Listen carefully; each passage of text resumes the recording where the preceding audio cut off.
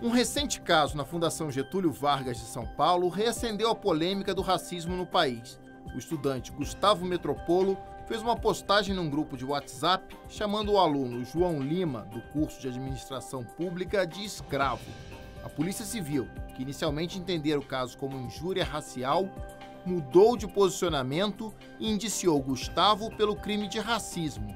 Foi um avanço é um julgamento, isso é estabelecido por juiz, isso é estabelecido no, no, no âmbito da justiça. Né? Agora, infelizmente, as pessoas praticam o racismo que vai lá, paga uma fiança e está tudo certo. Foi Afonso Arinos o primeiro político a criar uma lei antirracismo no país em 1951. Era uma lei que tipificava o crime, mas não tinha uma pena. Só com a Constituição de 88 isso avança. O parlamentar Carlos Alberto Caó, do PDT do Rio de Janeiro, foi o grande defensor da emenda que transformava o racismo em crime. Essa emenda diz que a prática do racismo constitui crime inafiançável e imprescritível. Foi a votação de maior consenso: 519 votos a favor, apenas três contrários.